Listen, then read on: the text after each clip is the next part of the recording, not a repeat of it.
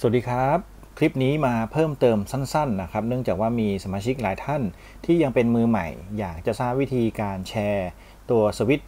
ทูย่าแล้วก็อุปกรณ์ต่างๆ ในแอป Smart Life นะครับ ก็สามารถทำได้ง่าย ๆ เปิดแอป Smart Life ขึ้นมาเลยครับ หลังจากที่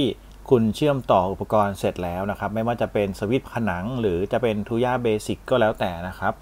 สามารถที่จะแชร์ให้คนอื่นได้ง่าย ๆ หรือ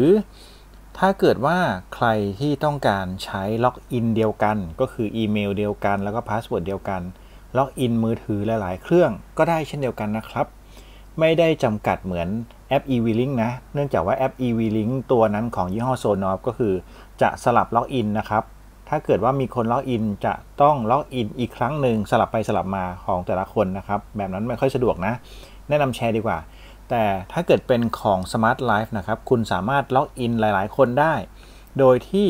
ถ้าเกิดมีการล็อกอินเนี่ย สามารถล็อกอินซ้ำๆพร้อม ๆ กันดูอุปกรณ์ได้พร้อมกันนะครับ แต่ว่าก็จะมีข้อจำกัดนะครับ ในการล็อกอินพร้อม ๆ กันดูอุปกรณ์พร้อม ๆ กัน การเตือนจากแอป t u y a จะเกิดขึ้นกับคนที่ล็อกอินแล้วก็ปิดแอปครั้งสุดท้ายคนสุดท้ายนะครับ อย่างเช่น ถ้าเกิดเรามีสมาชิก 3 คน แล้วเราล็อกอินพร้อมกัน 3 คนนะครับ คนที่ปิดแอปคนสุดท้ายจะได้รับการเตือนเป็นปกติ ส่วน 2 คนก่อนหน้านี้ก็จะไม่ได้รับการเตือนอย่างเช่น มีการเปิดประตู เซ็นเซอร์ประตูก็จะเตือนเฉพาะคนที่ปิดแอปคนสุดท้ายนะครับ ถ้าเกิดว่าเราต้องการที่จะใช้งานอย่างง่ายๆ ก็แบบนั้นก็ได้นะครับ แต่ไม่สะดวกผมแนะนำให้ใช้วิธีต่างคนต่างสมัครเช่นเดียวกันกับ Sonoff นะครับหลังจากที่คุณสมัครเรียบร้อยแล้วนะครับ ต่างคนต่าง account นะ password ใคร password ของตัวเองนะครับ ก็เข้ามาที่แอป เช่นเดียวกันเข้าไปที่ตัวอุปกรณ์นะครับ ผมจะ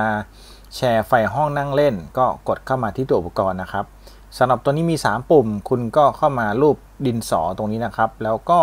มาที่อุปกรณ์ที่แชร์ตรงนี้ หลังจากนั้นก็เพิ่มการแชร์ครับ แล้ว สามารถแชร์ให้กับคนที่เคยแชร์แล้วก็ได้ หรือจะแชร์ให้กับคนที่ยังไม่เคยแชร์ผ่านไลน์ก็ได้ ผ่านอีเมลก็ได้ หรือจะคัดลอกไปแปะทางไหนก็ได้นะครับ แบบนี้ง่ายๆเลย หรือจะแชร์กับ Account ที่เป็น Smart Life ก็ได้ ก็กรอกหมายเลขบัญชีเข้าไปนะครับ